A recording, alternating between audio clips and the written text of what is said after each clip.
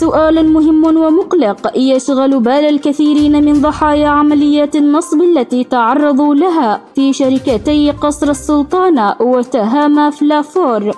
للأسف حتى الآن لا يوجد إجابة قاطعة ومحددة حول مصير أموال هؤلاء الضحايا. العديد من التحقيقات والشكاوى قد قدمت ولكن النتائج النهائية لم يتم الإعلان عنها بشكل واضح وشفاف. ما نعرفه حتى الآن.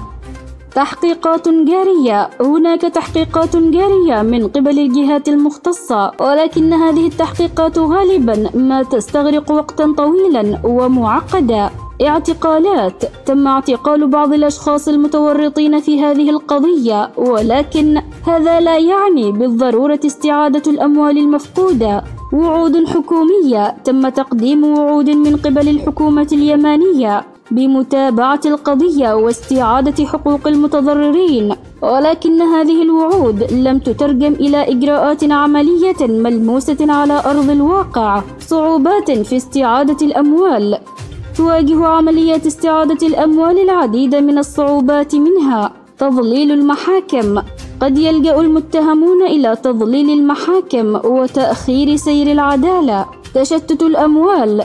قد تكون الأموال قد تم تشتيتها أو إخفاؤها في أماكن يصعب الوصول إليها. تأثير الحرب. الحرب في اليمن أدت إلى تفاقم الأوضاع الاقتصادية والقانونية مما يعقد عملية استعادة الأموال. ماذا يمكن للضحايا فعله؟ المتابعة المستمرة، التواصل مع المحامين، التنسيق مع الضحايا الآخرين، نشر الوعي.